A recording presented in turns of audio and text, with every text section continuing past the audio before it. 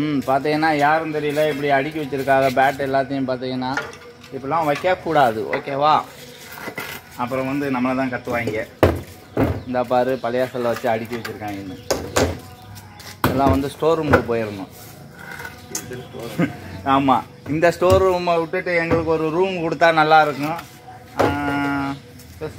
பார்த்தீங்கன்னா அங்கிட்டு இங்கிட்டு ஒரு ரெண்டு ரூம் இருக்குது கொடுக்கறதா மனசு இருக்கான்னு தெரியல. கேட்கக்கூடாதுன்னு சொல்லிட்டாங்கப்பா. வேணாப்பா இந்த ஸ்டோர் ரூமே போதும். வேணாம் இந்த ஒரு ஒன்னொரு ட்ரம் இருக்குது இதனா ஃப்ரீயாக கேட்டு வாங்கிக்கலாமா? ஒன்று மட்டும்தான் அலோடா ம்? நல்லா பார்த்துக்கங்கப்பா உங்களுக்கு ட்ரம்மு கொடுக்க கூட யாரும் முன் வரல. ஆனால் ரூமை பற்றிலாம் பேசிடாதீங்க.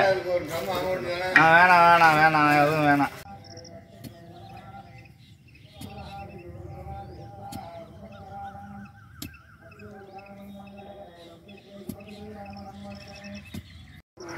இப்போ என்ன செய்ய போகிறோம்னா எப்பயும் போல் வந்து ம- செடி நடலான்னு வந்திருக்கோம். அதனால் செடி நட்டுட்டு இருக்காரு. நான் என்ன சொல்கிறேன் இப்படி செடி வச்சு கஷ்டப்பட்டு ஊண்டிக்கிட்டு இருக்கிறதுக்கு மழை டைம் அப்படி போகிற வழியில் அப்படி விதைய தூக்கி போட்டு போனோம்னா அதுவாக முளைச்சிரும்.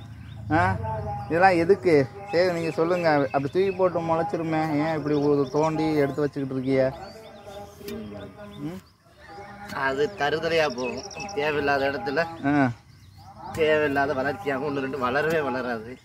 ஓ இப்படி திமுருத்தனம் இருக்கு பார்த்துக்கோங்க தலைவரை.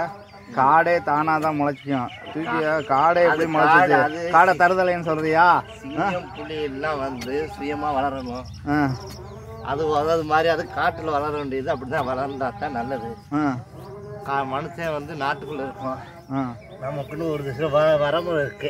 ம் இப்படி தான் வளரணும்னு. இப்படிதான் இந்த இடத்துல தான் இப்படிதான் இருக்கணும்னு இருக்கு. அதே மிருகது மாதிரி நம்ம பேசணும்னா ஆனால் இப்படிலாம் வந்து வச்சு பக்குவம் பார்க்கும்போது தானே பலகீனமாக வருது. ஆமாம் கன்று எல்லாம் பலகீனமாக காடில் எவ்வளோ ஸ்ட்ராங்காக இருக்குது பார்த்தியா? அது மாதிரி தூக்கி போடு. இந்த பாரு இந்த புதர் புல் பூண்டுலாம் வந்து நம்மளா நட்டோம். அது எப்படி வளருது? ஆ? அந்த மாதிரி அதுலாம் குறை சொல்ல முடியுமா? எவ்வளோ நல்லா வளர்ந்துருக்கு. பார்த்தா அதுதான் தொண்ணூறு சதவீதம் இந்த ஏரியாவில் இருக்குது நீங்கள் நட்ட மரம்லாம் வந்து ஒரு பர்சன்டேஜ் கூட கிடையாது. ம். ம். இயற்கையை மதிக்க கற்றுக்கோ செயற்கை எதையும் செய்யாத.